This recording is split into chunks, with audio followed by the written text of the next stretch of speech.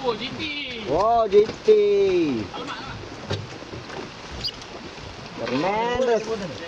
One fist and complainant. Two whisky veteran zone.